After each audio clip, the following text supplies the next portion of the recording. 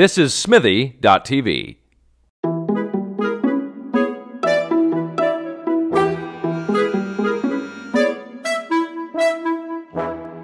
I'm Jeremy Lalonde, and tonight my guest is director Sara St. Onge. I said it right, right? Yeah, Sara Saint Ange. Or if you're really French, like Saint Ange. St. Onge? Oh, Do they just put them if together? somebody really botches, it'll be like, it's Saint Ange. St. Onge. And Like, then it goes be together. like, Stongy? What's the worst way you've ever heard it pronounced? Well, my nickname is actually Stongy. Stongy? Because people are like, what? Stongy. Do you ever get someone say Ong? No, but I've gotten like like Saint Orange. Saint Well, Laurent. I grew up in like I spent most of my time in the states, and they were like, "What is this name?" Like they just they didn't they didn't get it at all. Here, people are at least a little bit predisposed to understanding the structure of the name. Yeah. Because you went to design school first, right? I did. Well, I grew up. I, I moved to Seattle when I was about eleven. By yourself? That's hard. Yeah, I was like, "What? I'm gonna just." I want to just wear plaid. I was gonna be a roadie for Nirvana, and like. That was a bad joke. I didn't realize it. Bonnie, who is from Seattle, is wearing plaid right now. That was a Oh, terrible. I'm so sorry. great joke. Go to the Bonnie cam. No, no show- worries, no. because plaid and grunge are like so way in right now. I know because I'm doing like I'm doing research for a That's something. celebrity swag show, so I know all about what's in. It's, grunge is back. Grunge is back, although I don't know. I feel like it's back every two years, so It doesn't. It doesn't really go away. You know, like if it's if it's only been two years, has it really been enough time? I don't think it is no, it's for a new here. trend. Like it's not a new trend; it's just been a consistent trend. So you're you're just hip. Look at that. So anyway, back to design. You, you Yeah, so- Seattle designing school. So no, I went to well. At first, I went to middle school, and then I went to high school, and then Right. I went to well, and then I just like fucked around for a long time, and then I went to design school. And why design school? What was the impetus? Well, At that to- point, you wanted to be well, a designer, even. I I guess. mean, no, I mean it was art and design. Right. So I studied art. I didn't study design. I wish now I had studied design because that would have been much more useful. But I studied uh, fine art photography Okay. at that school, and um, and then I never took another photo after that, except for like now I'm really into Instagram because like you can just make all your photos look really good with those filters. Yeah, it's really. It's like uh, it adds like this instant depth. It's amazing. I'm like, oh, before I could never take a photo that was in focus or interesting, and now I can. Like, it doesn't matter because I'm like, oh, it's like the out of focus filter. Yeah. Now, now it's hip and cool. Yeah, it's awesome. that was intentional. It really suits me That's funny. and everyone else apparently. So that I mean, I assume then then the the, the photography background is, pardon me with my burping, uh, was part of the inspiration for Molly Maxwell then, right? Well, kind of. I mean, as you know, like you just sort of amalgamate everything into Random You're ideas. like, well, I know something about this, so I'll put it in there. But photography for me was a really, really important, like, um, facet of my teenage years and the dark room and um, just like finding something to do, I guess. Yeah, I did that in high school too. I loved it. Yeah, it was amazing. It's And the smell, you remember? It's funny when I Oh, saw when I saw. Molly Maxwell. As soon as in the dark room, I was like, my brain went. I could just Yeah. smell the. Absolutely. I can't remember the name of the chemicals, but like the chemicals, Yeah. and it just instantly in that the color. I used to have like a little canister of fixer fixer. That's what it was like. I could smell. like carry around. you just sniffed. yeah, It was like oh, doing a whip it. You just. pretty much. I was kidding. I was also doing Serious. so, so you know. So there's that. But um, and then I taught myself how to print color. I never even attempted that. It was That's black when I and got into like I really That's hardcore. color, and now it's it's pretty obsolete. Like even you can find darkrooms to print black and white now, but you really it's a hard thing to print color. Color. Well, you have to do it like three times, right? It's like three Mm, exposure. Isn't that how No, it works? Well, you, you know now you just sort of well print like doing the figuring out what you're gonna do to it. You have to put in the colors, but now like you put it into a machine to develop it. Mm, yeah. Like the print goes into a pro- like I did it in like hot on on in trays on hot plates, like in a basement room in a gallery that didn't have ventilation. Eee. Makes sense now. I think that's why I got into school because I was like, and this is how I learned how to print color, and they must have just been like, what? Like these, because this guy, this mad scientist guy that, um, like also printed at this darkroom that I somehow was affiliated with, had rigged up this whole thing so he had like timers on hot plates, and it made all the chemicals the right temperature. So it was just it was so jerry rigged. Like, it was Yeah, just, yeah, it yeah. was crazy. Not legal at all. not at all. Like just toxic. It's like the equivalent of like crystal meth and the hmm. Exactly. that's with no ventilation. No ventilation. That's amazing. You know, I was like 18 or 17. Did you ever pass? Did anyone ever pass out in that No, room? well, not from those chemicals.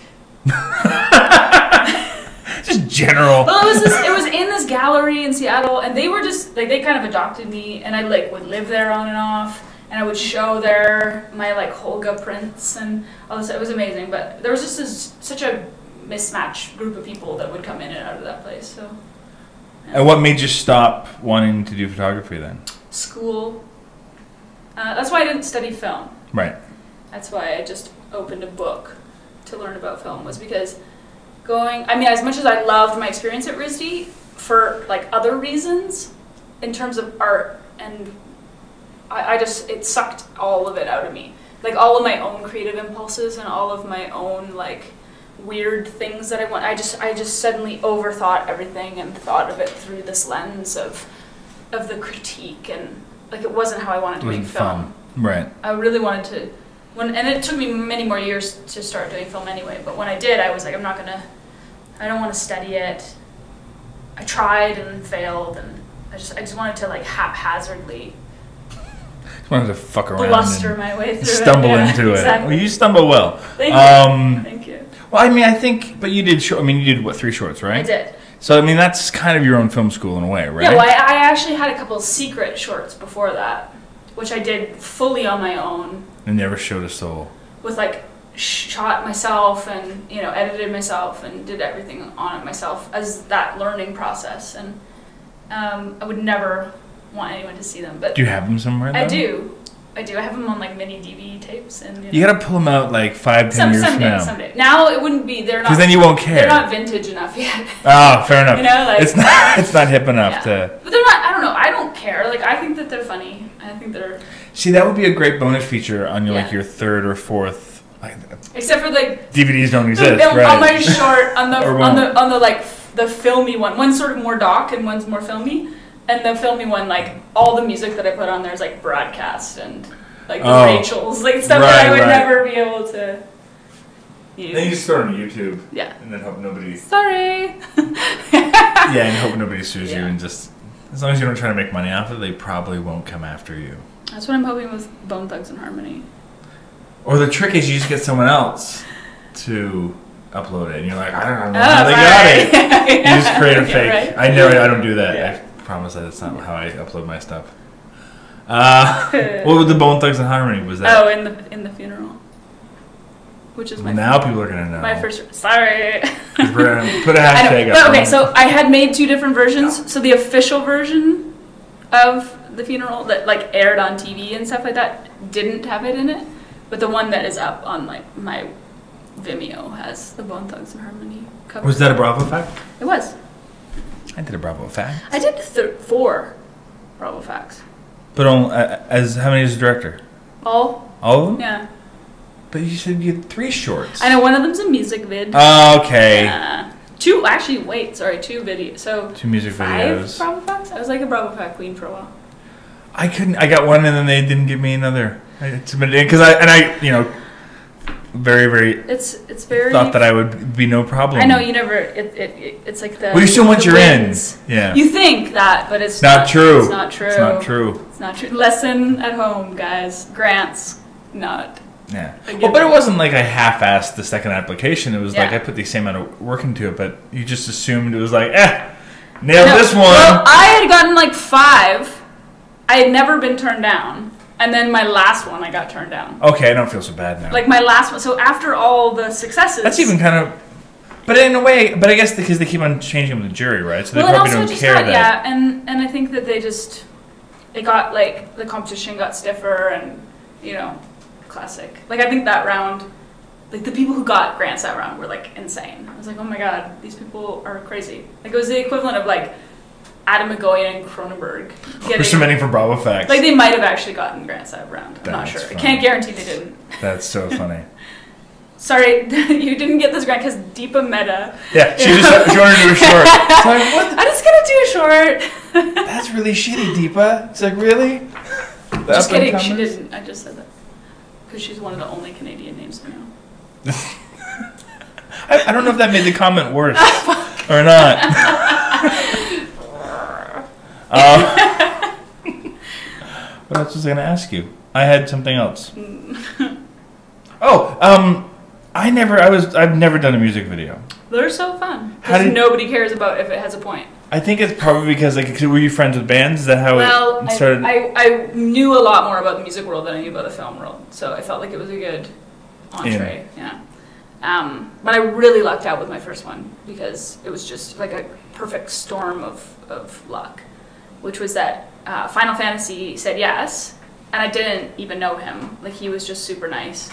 And then on the on the Bravo Fact or not Bravo Fact Video Fact committee was like a big supporter of that, and and then he became a really big supporter of me. Paul Gagnon, shout out, uh, like launched me into the world of getting money from he people. birthed you. He did, he did, and then after that would kind of like help to fight for for things that I wanted to do. It's nice to have. I know it's like amazing.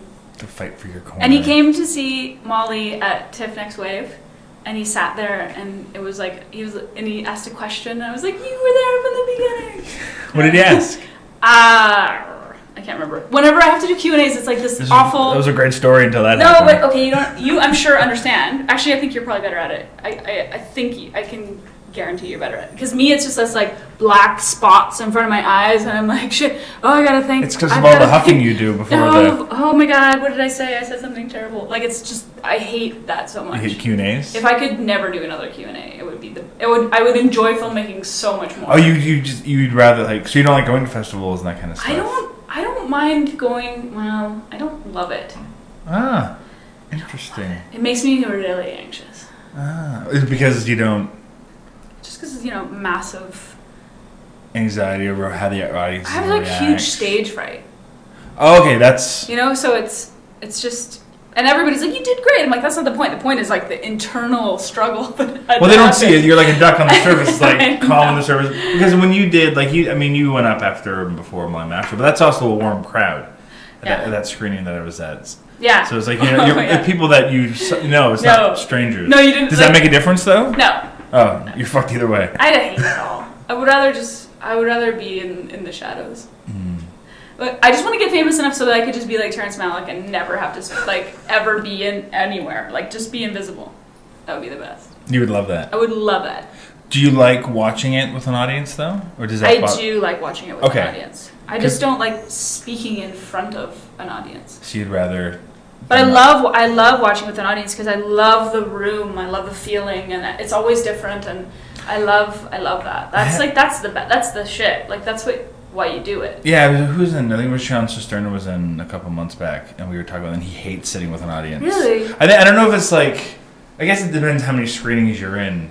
Uh, yeah, after 20 times it might. yeah. You just well, I mean, I don't do it like I don't sit in every screening. Yeah. So Yeah, but that's just it. Yeah, for me. So I mean, I love because especially if you're doing something that has any kind of emotion, you want to Yeah. know, you want to feel, the feed off it, and Yeah. know what worked and what didn't oh, work. I love I love it because I'm really sensitive to the the mood of the room too. You know. So yeah, it's the talking that. And what have you? So here's a good question. So what have you learned from watching screenings of, of your first feature with audiences?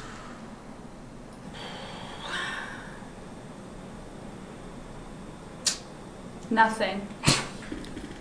Excellent. And we're done. Thanks Yeah. for joining. No. Uh, I see. I. Like, it's hard. Or what surprised you? Maybe is there something Oh, that? well, there's always weird laughs, as you know, because Yeah. you do awkward humor too. That there's there you're like, oh well, that I didn't even think that was funny, and you didn't laugh where I thought it was funny. You know, like and then you're really proud of it. You're like, wow, there's a little extra joke. yeah, Bonus joke. Weird. Okay. Yeah. I don't actually think that's funny, but good on you guys. Yeah. Good for you. Um, Or like, what the fuck are you laughing at? you guys that? are way weirder than me. Yeah. All right. Um, or they'll laugh at something like that, and then like like you know, 30 seconds later, there's a joke that you know is supposed to kill, and Yeah. it's like that one I worked on really hard. Yeah. It's always it's hard because I think in the process it becomes so warped because you see it so many times that you just start to pick apart every single little beat that you might have done differently. So I can't objectively watch it with an audience and think about it like that because I'm only seeing my growth Hmm. in terms of what I would do. It's not related to the audience. It's more related to like my, especially now, growth as a writer. You know. Um, but you can't. I I've I just try to let go because You have to. you have to. And I also like I, I'm proud of the film and and like I want to have warm affection for the film. Like I don't want to just turn myself into it like a crazy person. Like Yeah, that's like You me. know? It's like even like re- I mean I haven't rewatched it in a long time, but I know the last time I watched rewatched my first feature, I was like, I might do a couple of things differently, but I'm like, but I'm not gonna yeah, go crazy over because it's, there's no point. It's like you want to move forward.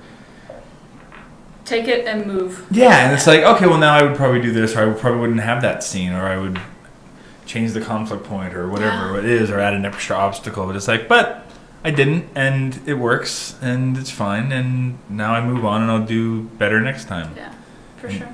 You should be like slightly embarrassed, I think, when you look back at your old work. Just enough to be like, I know, because otherwise you're not getting better. You're Absolutely. not improving, right? I think for me, it's always like pacing. You know, Mhm. You- uh, when I look back, I'm like, oh, okay, like, mm, like first, you know, nine minutes, like I would really Get into it. I would. I don't know. I feel like the pacing is off. You know, I don't know. But then you're nitpicking, right? Like next time, Yeah. Pacing's tough. it is, especially as like a first timer. You learn that, but that's something you learn too, I think you learn. And it depends on what. Pacing's tough too, because like if you're watching a certain kind of show, it's like I find that really blends into you. And I know because Yeah. coming out of um while I while I was uh, editing Sex After Kids at night, I was working on this really fast paced reality show during the day. So I know, in a way, it was good because I'm like, don't need that, don't need that, Yeah, get rid of that. We just need to get. Then, but then it was like you start watching back, you're like, oh my god, it's a bit schizophrenic. Yeah. Okay, I can let it breathe a little bit more. So it was weird going back and forth between those two different styles within the same day. Yeah. Uh, No, but, I get that.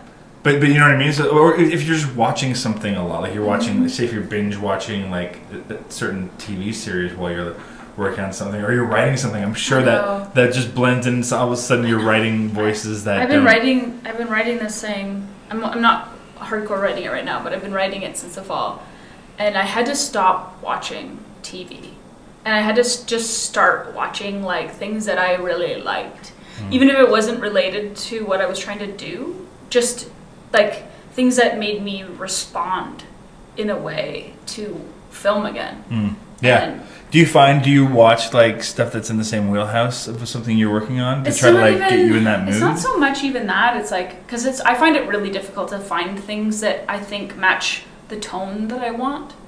It's. I, I try to just watch things that I respect yeah.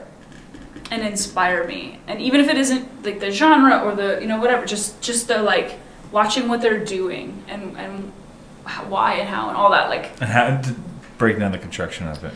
Yeah, and and I find that to be really good. Like I, I think that it's important for me to not be watching too much crap when I'm when I'm writing, because I, I watch a lot of it.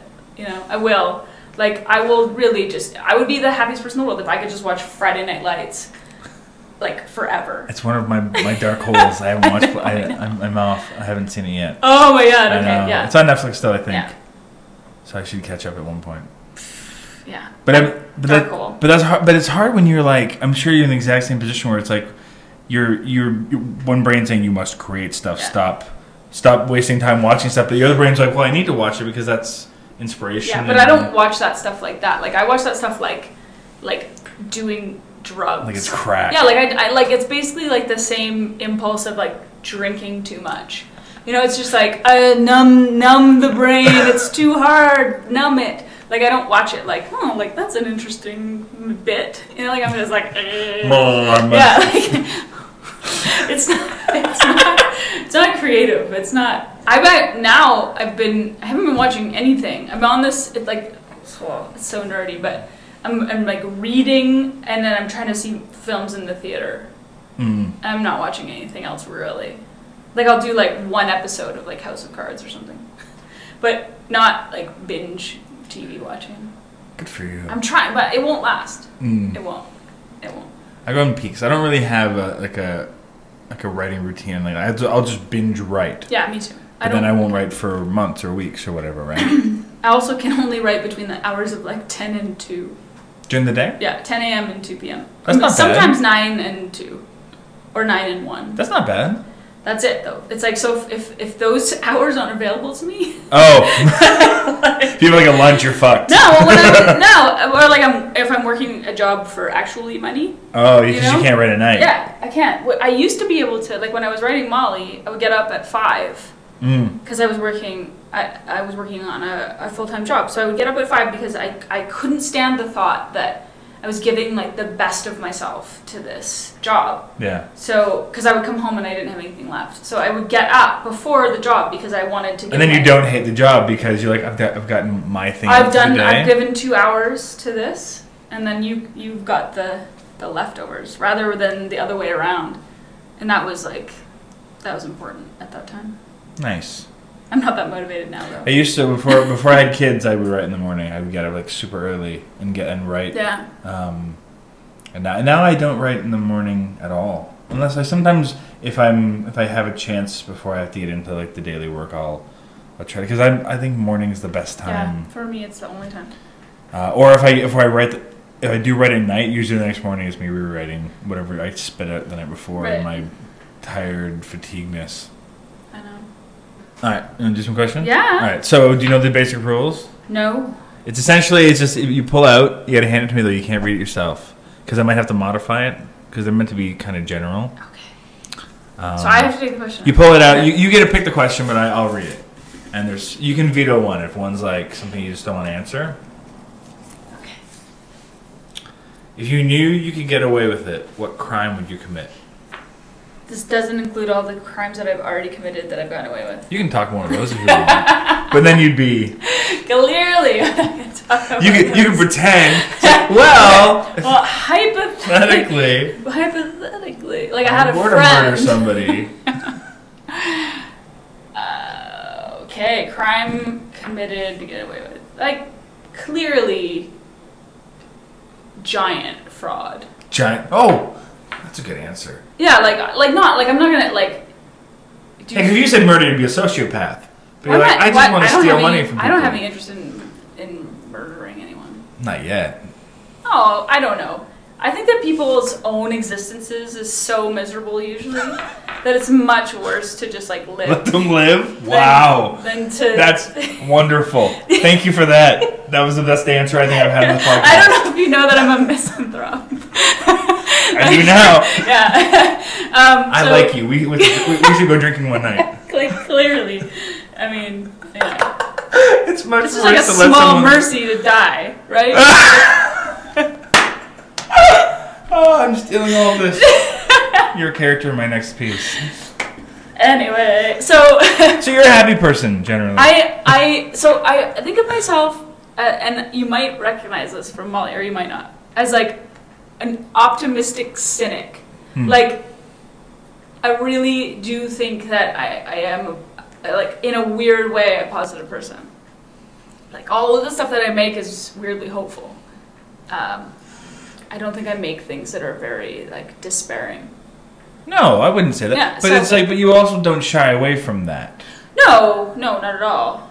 No, but um, I think that I think that fraud, like, I, I would totally embezzle people, especially if if they were like giant corporations. You feel bad, Yeah, but not like the little man. I wouldn't embezzle the little man.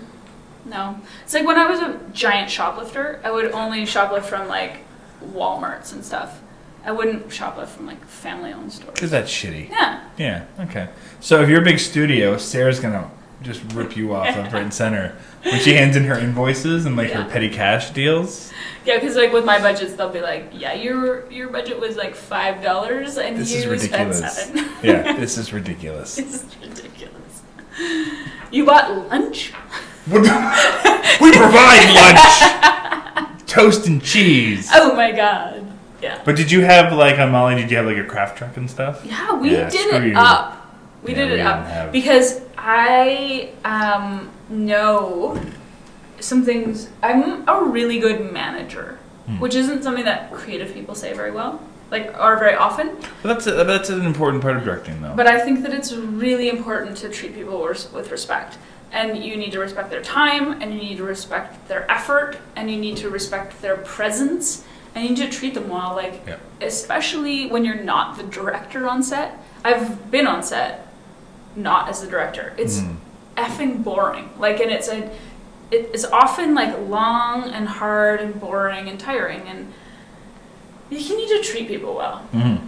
That's, I agree with that. You treat people well and feed them well. Yeah. And I care too. I, I know I care too much. I've had actually people tell me that, that you're being No. nicer to me than you need to be. That's funny because I never go overtime either. Like, No. I, I think it's so disrespectful.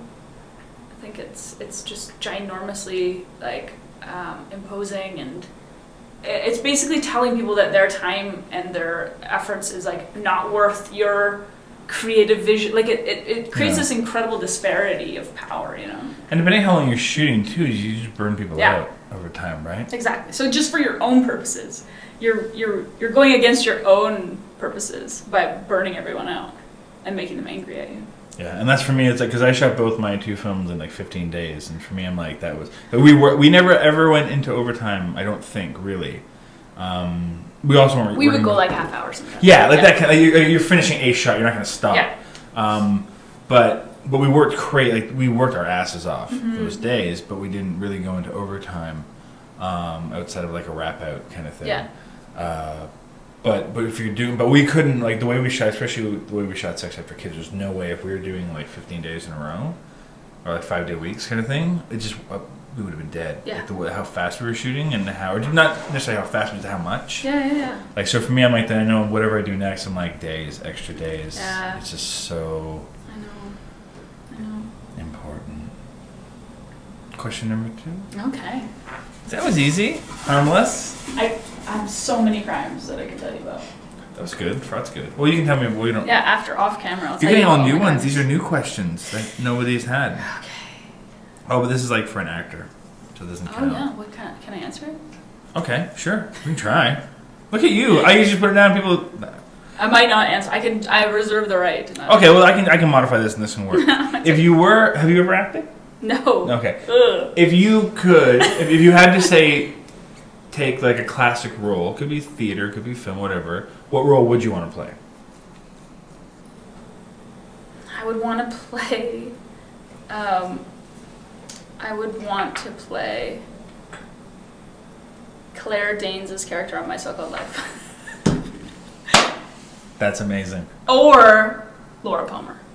But she was really just in photos, pretty much. I I guess there was. You just want to, you just want me a stock photo. Well, oh, I'll send you this photo. So in in in uh, in see, it's confusing for me because here you guys say university and like college isn't as good as university. So I figured I can't. I don't know how to call you know school anymore because like oh, you know what I mean. But anyway, university is like highbrow, I, I guess. Oh, so at, like at art school, how's that? There you go. Um, my my best friend in art school and I made um, like we had our senior thesis show together and we recreated this like scene from Twin Peaks and I was Laura Palmer I was like wrapped in plastic tarp and he was um, Agent uh, I can't remember the names. oh my god I'm such a terrible terrible It's okay. no this is like a it's a major problem that I can't remember this It's the Whippets. Ah, yes. um, and we like posed in front of the falls where they shot it and that was our senior thesis like poster anyway so I know why the Claire Danes. My wife is a huge so. Uh, because like I think it is probably the most influential thing that I've ever seen in my life. it's amazing. like you it- haven't seen my so-called life, It changed my life. Like it, it really, totally, absolutely. I was really lucky because at the time that I was watching, like I, when I was like a teenager, what I was watching was like my so-called life, Twin Peaks, and like Northern Exposure. You know, those Mhm. are the only things I wasn't into film at all. That's what, and that I was watching that and like MTV, that's fine. and that is completely my influence. There's before I have to go to the side story. So Bonnie, who is just started watching The Walking Dead, was texting me the other night when she was watching it, and she said, "What was the quote? You said something about you were making a Claire Danes face." It was like Oh, Danes' crying face. she was like she was. She was was the face I was making the whole time. Like, but as soon as you say that, no, no, no offense against Claire Danes, but her crying face is pretty distinct. Uh, see, I haven't seen Walking Dead. Oh, okay. But you don't need to. It's just. I know she's she's not scary. in that. No, but you know the Claire Danes crying face. Yeah, yeah. It's like so a shitty. crumple. It's a crumple. It is. It is like, It's like but a- it's pretty amazing. It's like a, it's like a full-on crumple. It's so emotional. Especially in My It's So-Called Life, though, because like her face hadn't angulized the way that it did when she. It was still very rounded, you know. hmm But uh, yeah, uh, yeah. So that that was like, that was definitely the most influential thing I think that uh, I ever saw. So therefore, and also I, I felt like it was me. I Yeah. really felt like it was. I think that's why that shows. It's still. I think people, if they discover it now, it's still very popular that way Yeah. because I think it was so universal. I always, I'm always curious about what they would have done with that show if it had lasted. Mm-hmm. Like if it would have. Yeah. Me is it is it so kind of universally regarded because it was so Maybe. there's a really in, funny um, article at the back of this month's playback that it's um oh I'm gonna, I'm gonna get the names wrong but it's the the showrunners from uh, Michael's Tuesdays and Thursdays Mm-hmm. and uh, Todd and Book of Pure Evil and it's it's it's like top ten list on how to create a cult hit. And it's like one of the first things is like make sure Get that canceled. yeah, get canceled early, early, early enough so that there's only a few episodes and people revere them. Yeah. And uh, but I wonder if that's not like for like Freaks and Geeks, like a show like that. Yeah, for sure. I think it's true. Like you don't want to. It's like, it's like the people that you dated that you broke up before you got bored of them, right? Yeah. It's like the same thing. It's like you're great, but if we just stuck around a little bit longer, it would have been terrible. yeah. It would have been just like every other bad thing. But Yeah. since it, it, like you're the one that like I didn't completely get bored of. Well, yeah, that's just no, but it's true because there's a lot of shows that kind of like they they stay on too long and then they run out of. I mean, that's my problem with because I'm trying. I keep on trying to work on television stuff, and I'm just like I have a hard time finding something that I think I could stay interested Yeah. in over a long period of time. Um, Yeah, absolutely, because that's hard. absolutely. And I also tend to think in single arcs. I yeah, I know, I know what you mean. I also I just find that like if you go into too many seasons, then you have to become kind of soap operatic, you know, like it. Like it becomes like Because you can't take the characters. false stakes. Yeah, You know. yeah, because you can't. Yeah, you gotta keep putting them through the same shit and the same ringer. Yeah. And eventually, you just, especially if you're doing like something that's really heavy, it's like you just want these people to be happy at some point. Yeah, but even like with a show that I love, like Community, and you're like, oh, okay, right, you guys are like you're friends, and you know And whatever. we're friends again. Yeah, Yeah, like it's all about like you guys like figuring out that it's more than just yourselves, and it's like you're just That like, is a really re- recurring. you know? yeah, like, on community. "Oh, okay, come on, let's just Yeah. have more like hijinks. yeah, just do another claymation episode. Yeah, I, know, but they have. It's like somehow they have to keep coming back to this weird like heart of the series crap. You're just like, ugh, nobody cares anymore. But yeah, we're not watching it for the heart. No, like also, I don't know. I just feel like can't we evolve past that now? Mm. Like, people watch things because of the characters. They don't watch it because of some like like theme of the show. Really, I don't think. I don't. You know, Not for every episode. Like you don't have to have it in every. Have especially like, after a couple seasons. You know, like. like we get it. You're friends. You're always gonna come back together. we Also, don't- you're like self-absorbed, but you're still friends. You know. like, I don't We, we get it. We bought into it. We got past the first season. We we're settled in. Yeah, I know. I know. That's funny. All right. Numero three.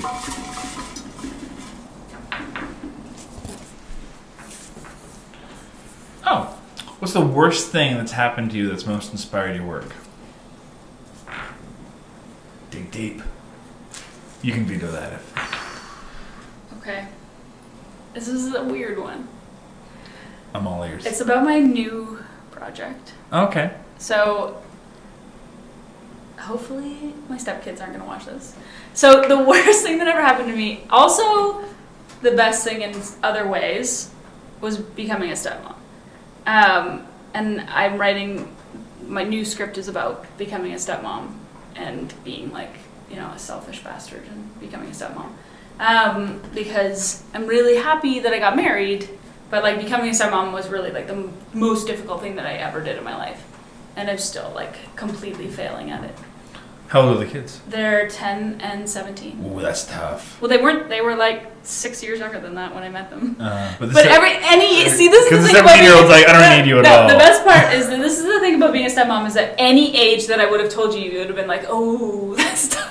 You know, that's funny. That's very, very If I couldn't, I wouldn't have. There's no age that I would have thrown out at you that you would have been like, "Oh, that's a that's a good age to be No, you know what? I'd be like, no, because I would have said, oh, that's not true. Because if it's like, if they're really young, they kind of, I think they would just naturally gravitate towards you a little more because they kind of need you. right. You could, you know, destroy them if you if you could. But like a 17 year old, they're like, I don't fucking need you. Yeah, You're just like- in my way. Peace out. Yeah. Except they don't say that because they're They don't say peace out. they're not from the 90s.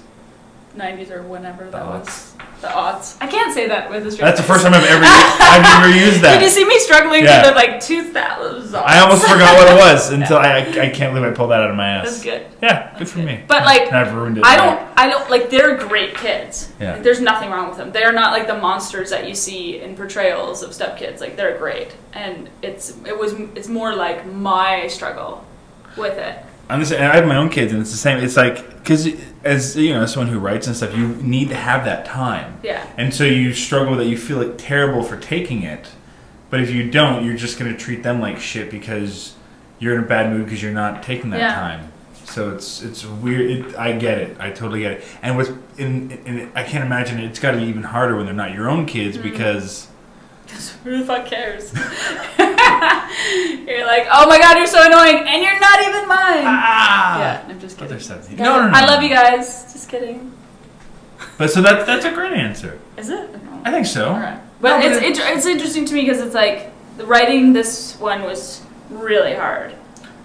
Well, especially because probably because you know they're going to see it. Someday they're gonna see it, and And they can't help but think that this is informed by. yeah, well, clearly, like I'm not really creative. Just sort of just regurgitate like things from my life and sort of like like, like fuzz it around the edges, you know, change people's names. There's nothing wrong with that. I know, but there, it, yeah, it's it's good. Mm. I'm excited about that film, but it is like a scary territory for me. You know? But you know what? I think that's the best. I mean, I think you should be scared of what you're writing I think so. because you're going somewhere I think so. interesting. It was funny. It was like, and that was I know with Sex with the Kids it was like that. It was like the first time I watched it with my wife. I'm like, holy shit, there's a lot of stuff about You're us. like, in here." oh right. I'm like, I didn't even realize how much stuff about us is in here. yeah, Oh, but she was cool with it all that's good. because all the funny stuff is from her. That's good. Mostly. That's flattering. I yeah. steal well. Yeah. But uh, Yeah. what's it called? The stepmom? You can't. It's take called that Swan title. Dive. Swan dive. That works. I get it. Yeah. It it it make it's really just like a picture of the arc of the film. Like it really, it, when you read it or see it, you'll you'll be like, oh, okay.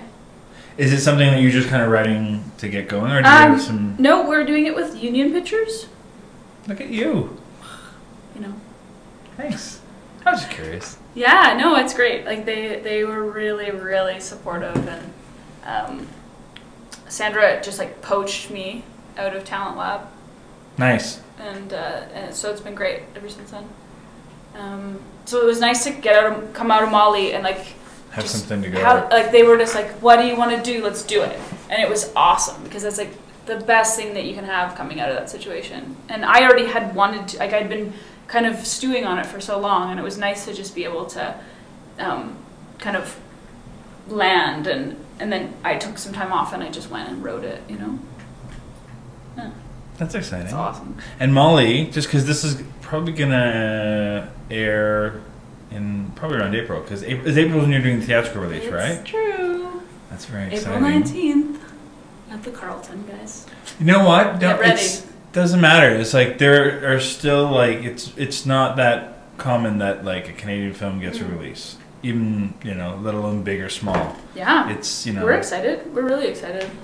Now, though, it's like I know how much begging I'm going to be doing just of every single person that I know to get people out. to get people out Mm. because it, it, you know, it really makes a huge difference. Contests, social You media, know, we're getting there. that kind of stuff makes a Yeah. difference. It's tough, but you got to do it. Yeah, It's good. but we're excited to just even have be able to like have everybody come and see it. you? And what's the MoMA thing? Like, I know that screaming, but what? How did like just how that happen? I don't even know how that happened. They just called. They well, we were at. Like, you have the same initials as us. You have No. two of the same letters, and you title your film. No, I think it's because we make a MoMA joke in the film. Oh, oh. we like we. That means they I have a good sense do. of humor. I really think that they were like, because there's two MoMA references in it. I think they were like, "This is awesome!" like this weird. Is that your Bill Cosby voice? this is the best thing. Bill Cosby was like, I, I saw this film. like, oh, this film. it's weird Canadian film. I can't do Bill Cosby. It's okay. Yeah. We'll stop that. Um, and and so we were just we were at Palm Springs and and Brigitte from Telefilm was there, and she was just like, oh, we just found out that like you got invited to do this Canadian front thing at MoMA. And we were like, awesome. It was crazy. so someone else told you? yeah. Yeah, That's amazing when that happens. Don't you Yeah. love it when that happens? it was amazing. Well, I mean, it was telefilm, Yeah, yeah, yeah. Well, yeah. you know, because they so they knew. Yeah, yeah, yeah. It wasn't like just some stranger. Yeah, yeah. Like, hey. Hey, some guy in the street. Hey, did you know? Hey, Fair you enough. heard. Yeah. No. So it was, but it was great because it was like this nice. It was nice to be able to, because you know how premieres are. So I didn't have to necessarily crash immediately into the after premiere bad. You know. What's this? You don't do that. Well, I don't know what you're Um, talking about. I always like hit this like like uh, after after a premiere. Oh, you're like, ugh. Just like. Ugh. I keep myself constantly working Uh, on something new, so that way See, I, I don't. I'm so lazy. Like I don't do. I can spend an entire day just like sitting on the couch not doing anything.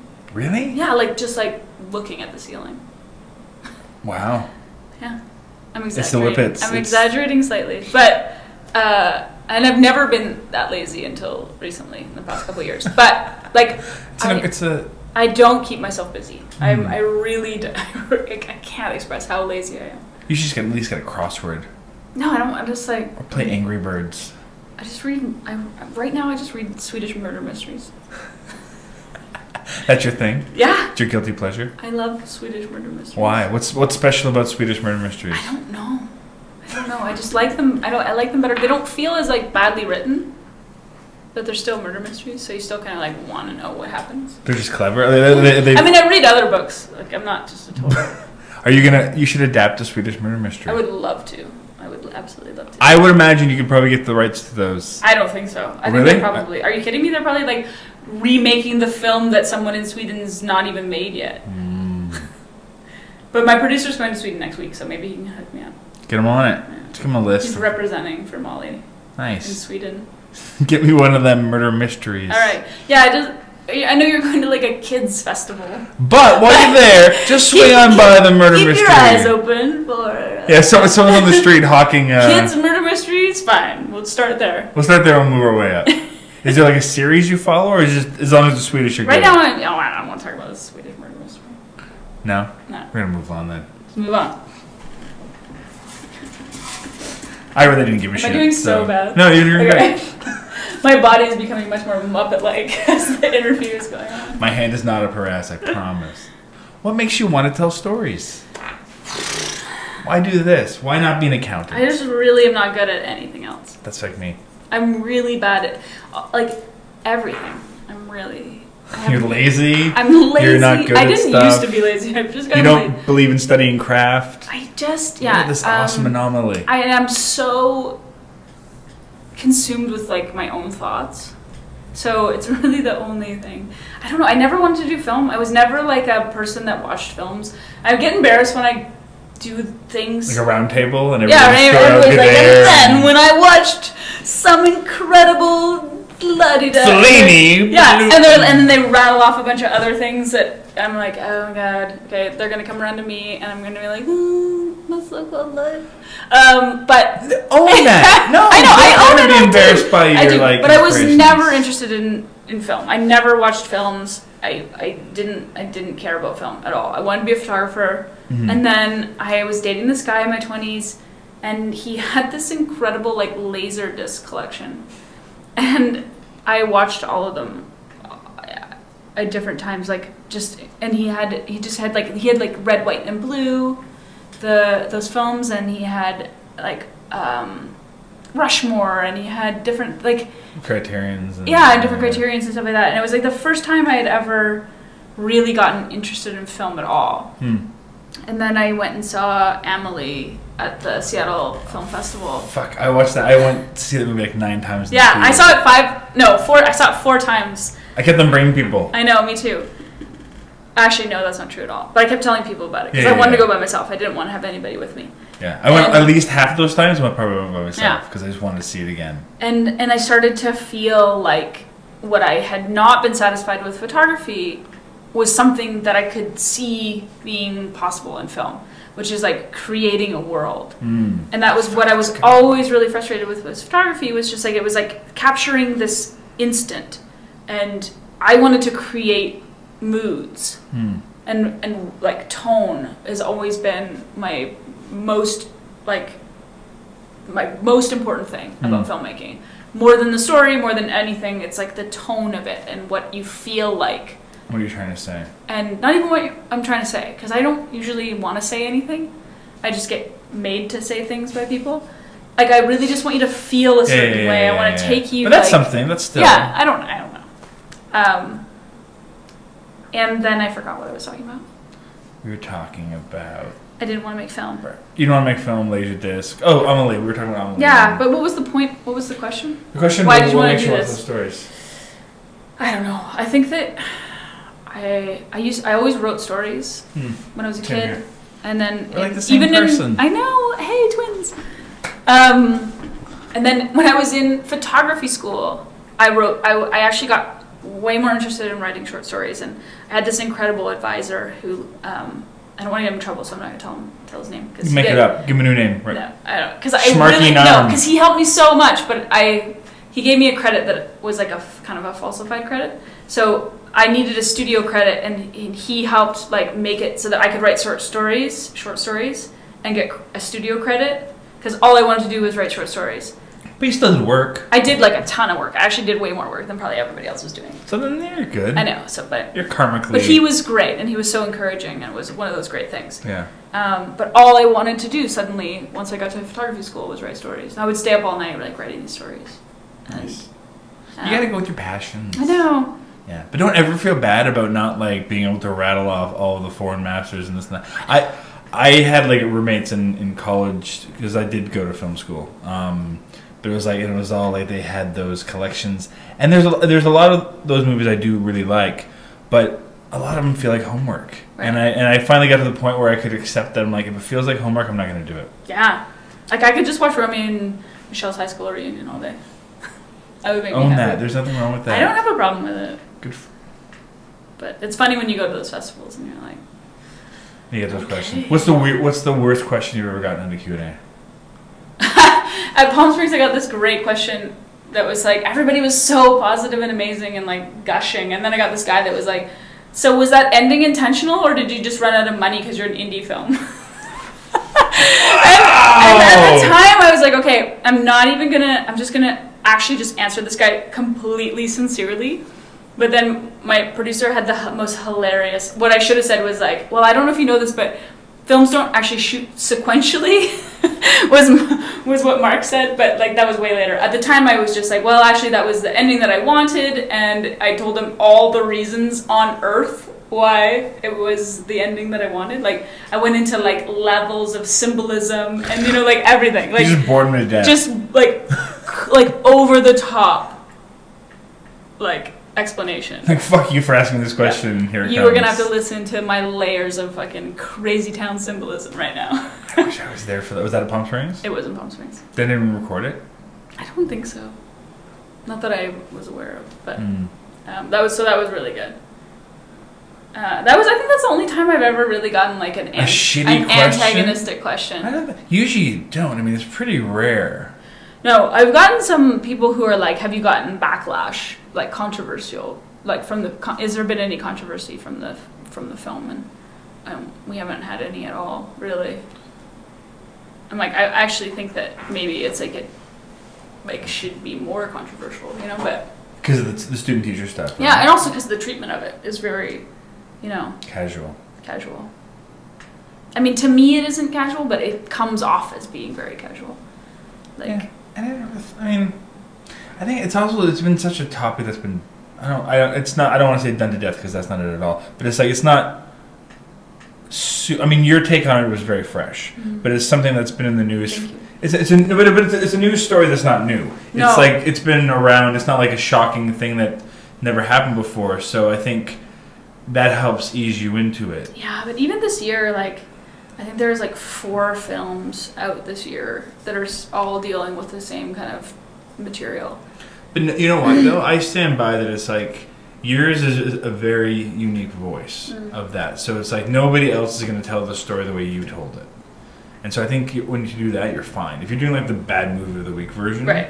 then yeah, you can copy that one nine ways to Sunday. But yours is a very distinct and unique story, and it's not like it's not. I wouldn't say yours is a story about a student-teacher relationship. It's about like it just happens to have that. Mm. It's about it's more about this girl and her journey, and that's just part of it, Mhm. right? You're fine. All right. All right, last question. Yay! Yay! Woo woo! What is it? All right. Oh, what was your favorite scene you've ever directed? Oh, oh wait. Okay, that's different. Because what was your what was my favorite scene and what was my favorite scene I've ever directed are two different questions. Then give me two different answers. Okay, my favorite scene now is the scene where she goes over to his apartment the first time. Um, which I'm not gonna say why because nobody's seen it. Uh, I didn't want to ruin that. But it's like the amount of responses that I've had about that scene is just like so heartwarming and amazing. And when you write something, you never know that it's gonna reach people. Like it, because on paper I was like, oh, this seems kind of weird. Like I don't know if people are gonna. Well, that scene doesn't have much any dialogue really No. either, right? Because I, I first saw that scene when you did the lift panel. We did a lift uh, Yeah. panel together. Uh, and that's when I saw it out of context, hmm and it works. For the, but it's, it's also the scene. I, I remember the first time I watched. it, I'm like, I have no, I have no idea what this movie's gonna be about. Or what what? Um, so now so that's your favorite finished. Scene. that's my favorite finished scene. It was probably my least, one of my least favorite scenes to, To shoot. direct. Yeah, because it's awful to shoot those kind of things. It's Like, kind of awkward. it's awkward. That one wasn't as bad as the later ones. Yeah, but, yeah, yeah. Um, my favorite scene I've ever directed. I'm gonna change it. I'm gonna say the most satisfying scene I've ever directed is when Molly is with the principal in the office. When she goes in there after they get in the fight. Sorry, you guys don't even know what I'm talking about. But They'll so see it. This this will live online Okay. for, for so the forever. what was satisfying about it was that it was really like so Lola who plays Molly was incredible like she's so talented and she is she was such a delight to work with like she was always had it going like it was just she was so consistent and then both of us this day when we were shooting this scene we were having the hardest time making it work. Like she Mm. we were both exhausted. I think it was like right in the middle. And we couldn't figure out how to make it work. And both of us were just like having a hard time. And she was having a hard time because she had been delivering so consistently you know and and together like we and with richard clarkin as well like worked it out like all working together working through this and bouncing off each other and changing things. And richard being incredibly generous to lola and you know giving her what she needed to go. And like it That's all you can do is just admit that it's not quite working. And yeah and find a way to make it work. So it was so because now i love it. I love the scene and but it it was really satisfying because of how much work it took from all of us to get it to to go you know i think that's always better in the end than the things that kind of come easily you know well, you had to work for it. You had to earn it. yeah yeah I like that. so those are my answers to those questions Mm, Okay, so to wrap up, okay you have two choices. okay You either have to display some kind of talent, or you have to arm wrestle me.